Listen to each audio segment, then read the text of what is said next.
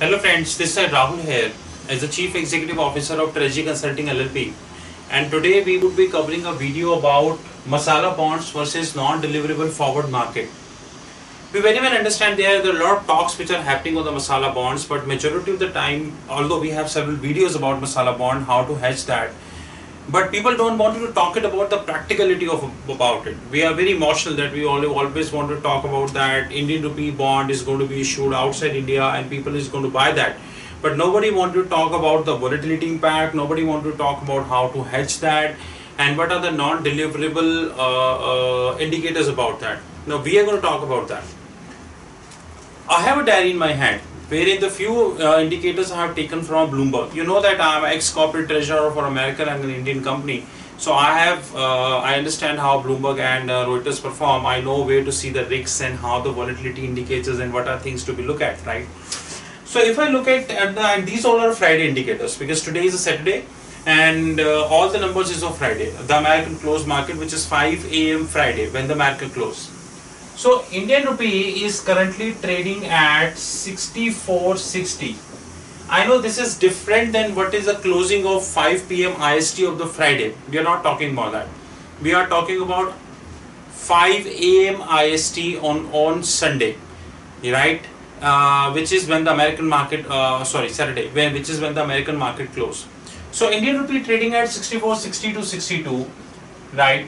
We have one more indicator that one year forward premium is trading at 2 rupee 90 paisa 2 rupees 90 paisa or annualized percentage is trading at 4.50 percent. So if we convert this 2 rupee 90 paisa into percentage term we will get 4.50 percent. We are here not discussing how to convert that. That is a different thing. We we, we, we have. Now these all are the deliverable part of it let me write here these all are the deliverable part of it. Let's come the non-deliverable part. One year non one year uh, forward premium is 2 rupee 90 paisa. Let's come the non non-deliverable part. Here indian rupee is also trading at 64.60 oblique 62 the one year forward premium is 2 rupees 62 paisa which is wonderful I know most of the people don't agree with me. And here is the proof. The non-deliverable forward spot, let me write like this. Non-deliverable forward spot is 64.60 while one year non-deliverable forward is trading at 67.22.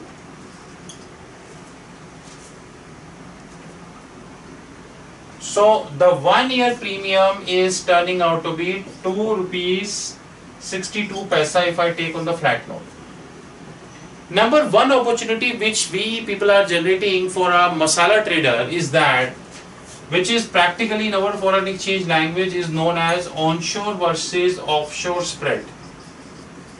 Like onshore is trading at 2 rupee 90 and offshore is trading at 2 rupees 62 paisa. The logic is quite clear. Onshore offshore spread exists. It was existing, it is existing and it would continue to exist.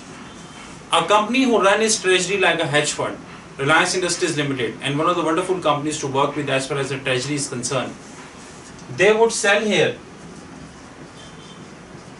using RBI reference rate and they would buy here using RBI reference rate. What is RBI reference rate? A rate which is publishing at 12:40 between 12:45 to 1 p.m. Indian Standard Time on a working day there is a certain methodology which we have which is being adopted by Reserve Bank of India. Of course, I always doubt about the credibility of that reference rate, but still we have this rate which people are, which RBI is uh, publishing and that rate is used to uh, settle the non-deliverable contract which we have in Indian rupee. They would sell in, sell in India on RBI reference, they would buy on RBI reference, at the end they would always have a gain of 28 paisa in the books because Reliance would have international subsidiaries as well. This is one part which a masala trader looked at. Another part which masala trader looked at is the one year Indian rupee implied vols which is currently trading at 6.4%. Now the job of this diary is over which is trading at 6.4% while while uh, if I'm not, not mistaken 10 year OIS is approximately 7%. What is OIS? Sorry, my mistake. 10 year Indian rupee OIS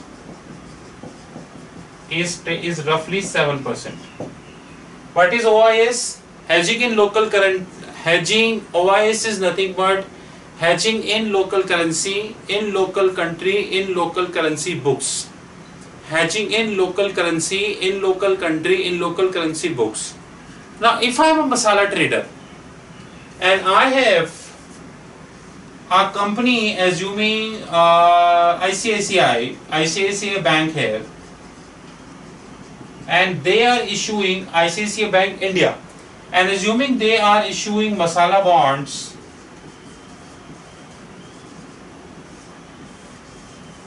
to Singapore where the lead run manager is Citibank. And iBanker is UBS assuming. I need to understand that if a one year implied vol is 6.4% and we also understand that Fed is going to rise the rate.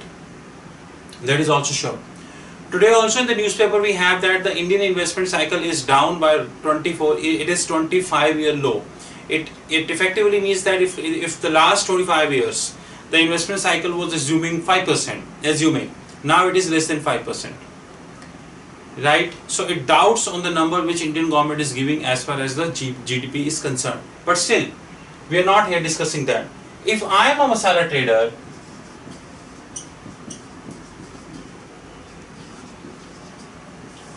I seriously wish to see that if my implied vols is 6.4% and they are heading higher, which could go to 7.5% also in September when Fed will hike the rate and take it rate to 1.50% because this will create a reverse carry.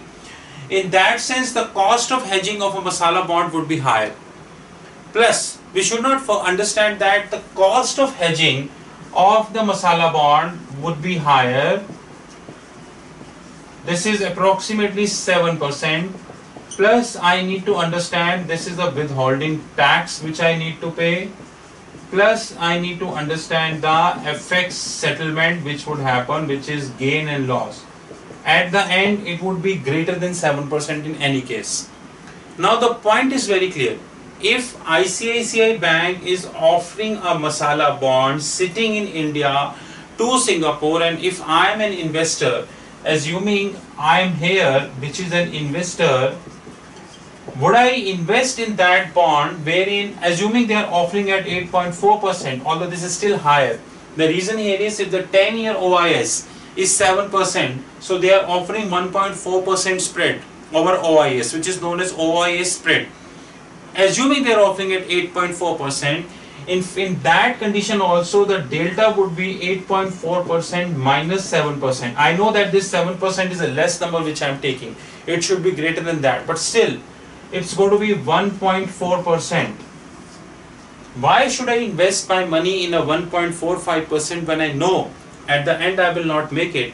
And why I should not invest invest my money in the US bonds who are offering anywhere between the 10 year US bonds which is offering between 2.6% to 2.5%.